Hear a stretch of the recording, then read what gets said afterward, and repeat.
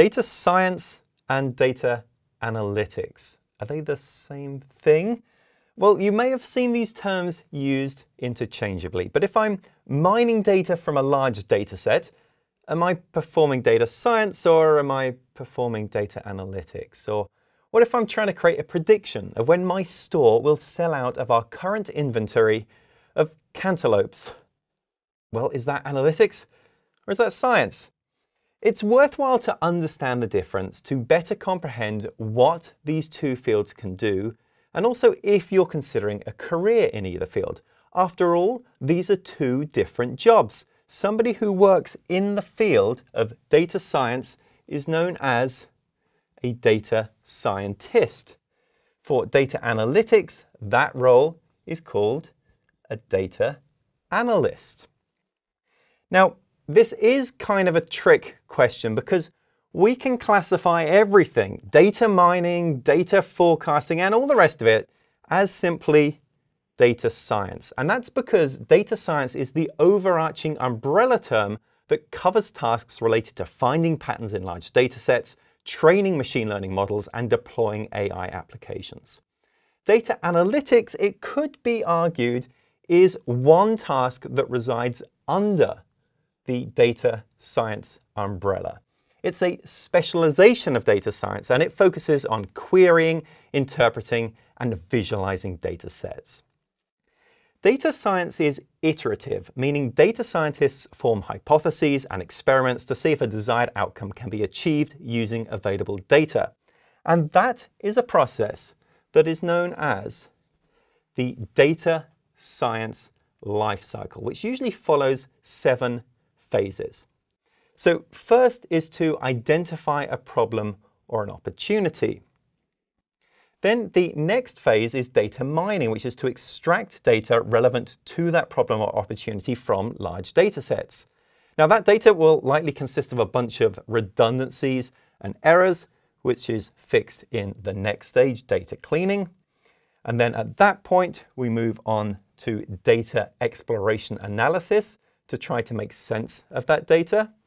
We'll then apply feature engineering using domain knowledge to extract details from the data.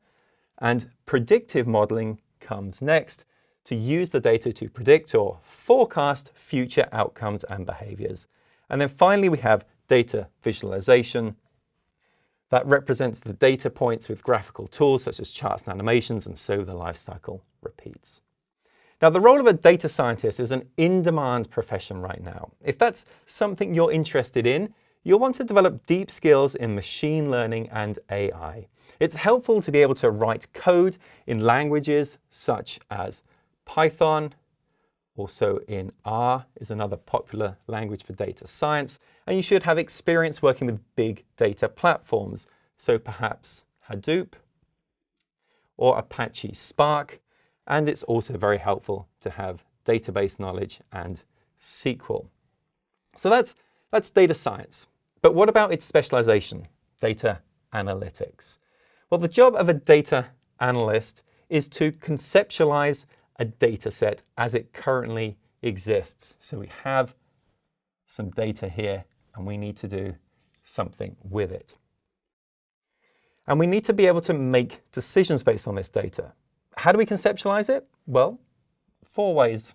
One is through predictive analytics, which helps to identify trends, correlations, and causation within data sets, like forecasting when those cantaloupes would have all flown off the shelves, or in healthcare to forecast regions which will experience a rise in flu cases. There's prescriptive analytics, and that predicts likely outcomes and makes decision recommendations, like predicting when a tire will wear out and need to be replaced. There's diagnostic analytics that helps pinpoint the reason an event occurred. Manufacturers can analyze a failed component on an assembly line and figure out the reason behind its failure. And then there is descriptive analytics, which evaluates the qualities and quantities of a data set. A content streaming provider might use descriptive analytics to understand how many subscribers it's lost or how many it's gained over a given period of time and what content is being watched. And while a data scientist is a clearly defined and specialized role, virtually any stakeholder can be a data analyst. For example, business analysts can use BI dashboards to conduct business analytics and visualize KPIs. But many organizations do employ professional, dedicated data analysts responsible for data wrangling and interpreting findings like why a company's marketing campaign didn't meet expectations. If you want to be a data analyst, it helps to have both analytical and programming skills. So this includes familiarity with databases. Also, you'll need to know about statistical analysis and also data visualization is another important skill. So data analytics is often more focused on using statistical tools and techniques to interpret existing data and offer actionable insights. It's usually less concerned with creating new algorithms or models. Data science, on the other hand, has a broader scope that can involve complex machine learning algorithms, often created from scratch. Data science focuses on phases from data collection to predictive modeling. Data analysis, on the other hand, is more about answering specific questions with that data. And if you've done both your data science and data analytics right, you'll always be able to keep cantaloupes and just about everything else in stock.